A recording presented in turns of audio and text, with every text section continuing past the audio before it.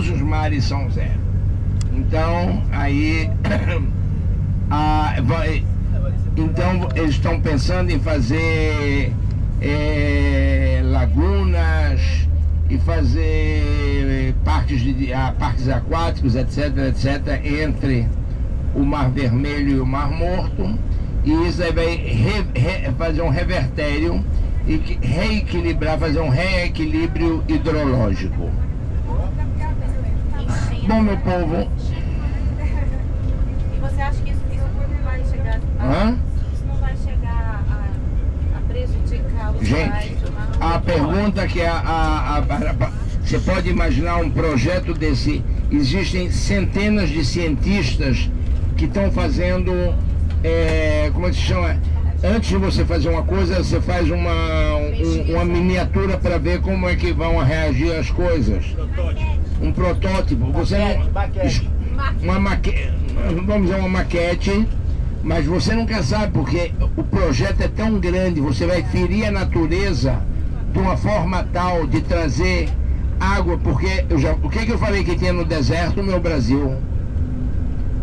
Eu não falei que tinha lençóis freáticos no deserto? Sim, sim. Com água salobra? Sim, sim. A pergunta é se essa água que passar por cima, ela não vai tornar a água que é a maior reserva de água de Israel, está no deserto do Negev. Se a gente não vai estragar essa reserva. Quer dizer, não é coisas que a gente faz assim, uau, maravilhoso, que bom que a gente fez. Por exemplo, se vocês verem um mapa muito antigo de Israel, não moderno, vocês vão ver que em cima do lago Tiberíades havia um, um pântano chamado Pântano de Hule, um pântano muito grande.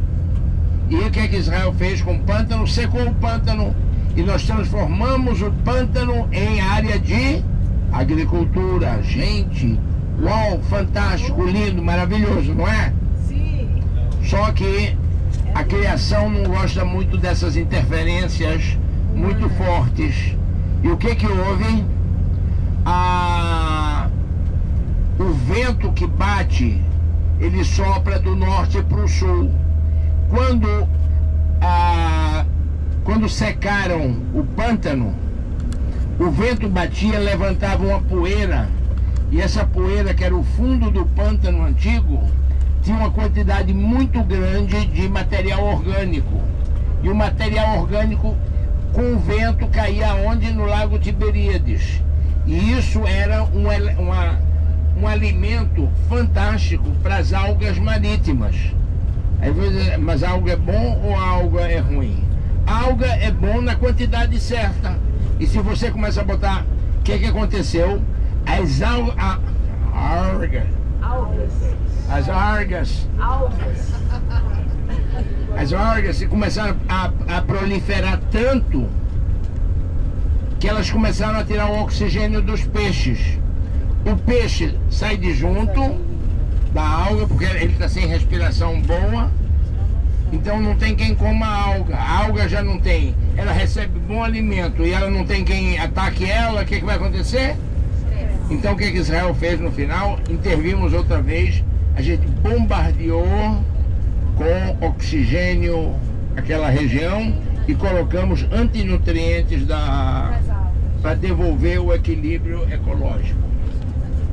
Incrível. Ou seja, mexeu num lado e mexeu no outro e aí o perigo é continuar mexendo Gente, o...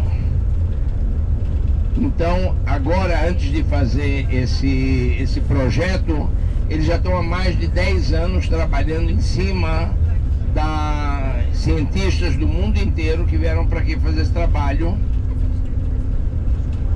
Pergunta, valendo uma Coca-Cola da Elgibor, paga ou não paga?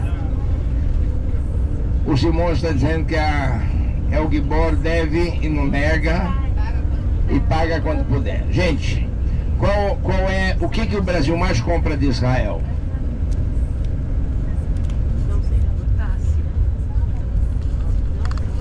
Eu posso dizer, o que, que Israel mais compra do Brasil? Carne. Israel comprou um bilhão, mil milhões de dólares de carne do Brasil, a grande maioria de uma companhia chamada Friboi. Aí estragou. Gente, toda a carne que vocês comeram aqui até agora é tudo da Friboi. Viva a Lulinha. Brasil, eu pergunto qual é o produto que o Brasil mais compra de Israel. É potássio? O quê? Potássio? Potássio? Não é bem potássio, fosfato. Fosfato.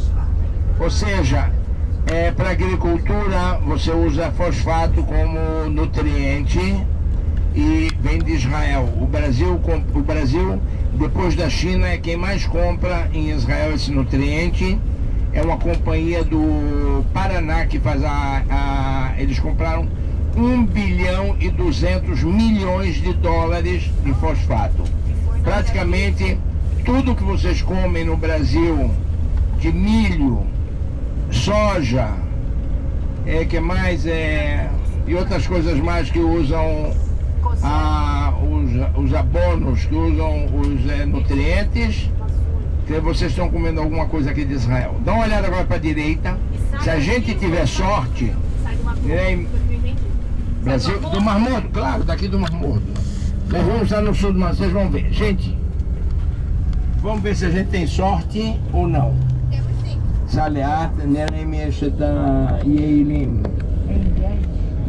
Aqui nessa região, nós temos muitíssimos eh, cabras do deserto. Selvagens, é claro. Não estou vendo nenhuma por aqui. Não, a gente vai ver. Algum, algum... É o reflexo. Sassá. Olha, olha, os- olha como é que ela é. Olha com esse chifre imenso. Só o macho que tem esse chifre. A fêmea não tem chifre grande. Quem quiser pode ir. Tá vendo aqui? Olha aqui. Cuidado com os, eh, os veados aqui, as cabras quando estão passando. É uma pena porque ela, eh, às vezes tem rebanhos imensos. Selvagem. Não vi ainda, não. Por isso que Davi escrevia sobre as cabras montanhesas.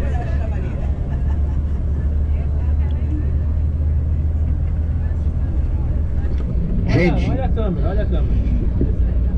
Brasil, aqui estão fazendo escavações arqueológicas e descobrindo um belíssimo mosaico de uma sinagoga, onde tem o toldo. Tem. Mas não pode ser nenhum, porque essa hora eles têm que estar por aqui.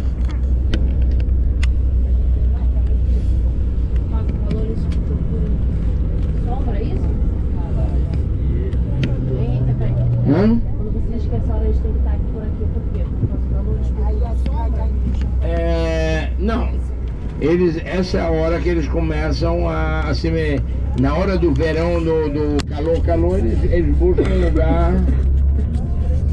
E agora tem. O bonito é que tem os. Olha aqui, por aqui a, água ainda passa por cima da estrada, tá vendo? Só que a água não passa muito porque eles fizeram uma fábrica de água mineral e pegaram 90% da água desse rio. Esse é o Tietê israelense que é, que foi comprado pela Nestlé.